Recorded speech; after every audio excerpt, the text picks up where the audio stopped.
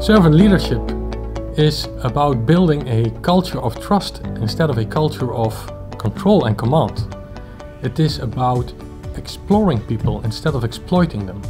It is about having the courage to trust people and help them to become also more self-aware so that you and your people become intrinsically motivated and deeply engaged in what you do.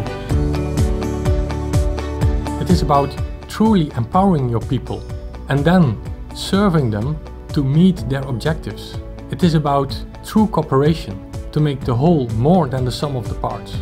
This form of leadership is the only form which can establish a real transformation because it builds an intrinsically motivated, truly empowered community.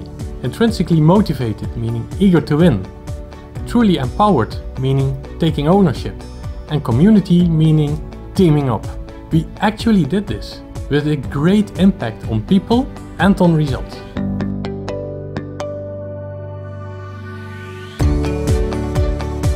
For me, servant leadership is also feeling responsible uh, as a manager, as a business, for the professional, uh, but also for the personal development of people. Servant leadership to me is the way you support your people so that they can flourish. Support by trusting, listening, motivating, but also challenging them and giving them the space to explore so that they get the best out of themselves.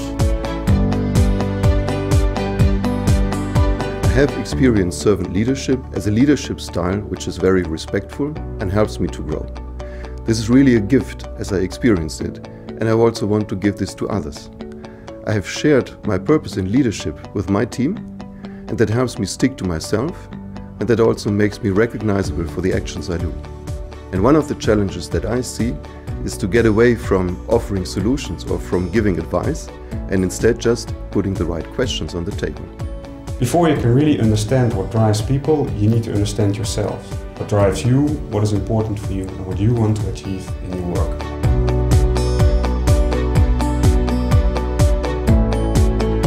Learning about servant leadership has really been an eye-opener for me. And I'm very grateful to have learned about it, and I'm very happy to apply it now in many things I do. I truly believe that servant leadership uh, brings people further, not only with respect to their career, but also as a person. And uh, that's something really beautiful, I think.